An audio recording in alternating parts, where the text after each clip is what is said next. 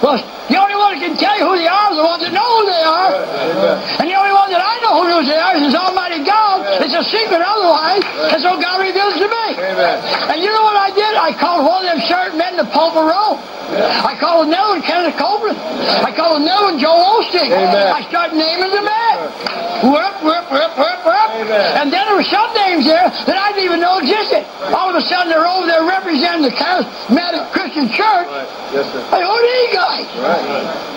Amen. Then I did get some hope. Because it said the Pope invited them. Yes, sir. Yeah. Hey, Pope! Special invitation.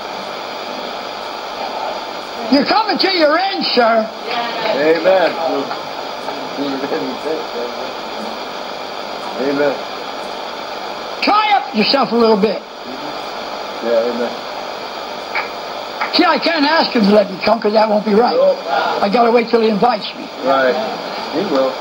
You damn people, why won't you hear me? To get a private audience with the Pope. That thing took three hours. They were all dressed in black. Yep. He had on his wife, Yeah. but that was after they each had their own private seance Right. with him, Amen. Bowing down, saying, Holy Father, we are repenting. Yeah. We are coming home. Yeah. You are the church. Amen. That's what they did. Amen, brother. That's exactly what they did. Sisters wish. Amen.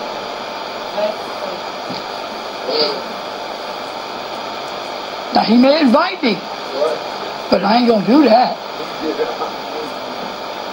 Uh-uh.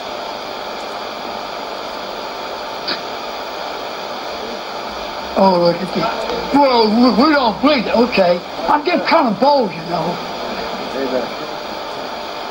Uh, you're the toughest people on He's going to be a piece of cake compared to y'all.